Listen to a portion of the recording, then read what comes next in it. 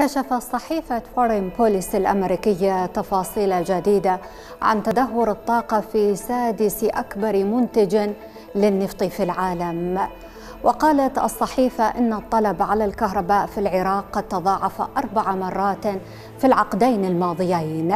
وبينت أن العراق سيكون قادرا على إنتاج ما يكفي من الكهرباء لتلبية ذلك الطلب. إذا تم وضع التخطيط الكافي ولفتت الانتباه إلى أن الخسائر في النقل والتوزيع تعد من بين الأسوأ في العالم.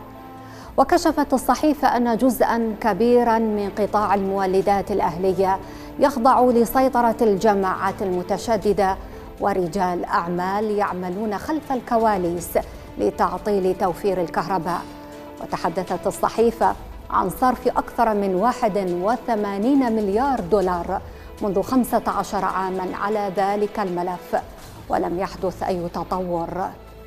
فساد الكهرباء هو جزء بسيط من أزمة الطاقة في العراق.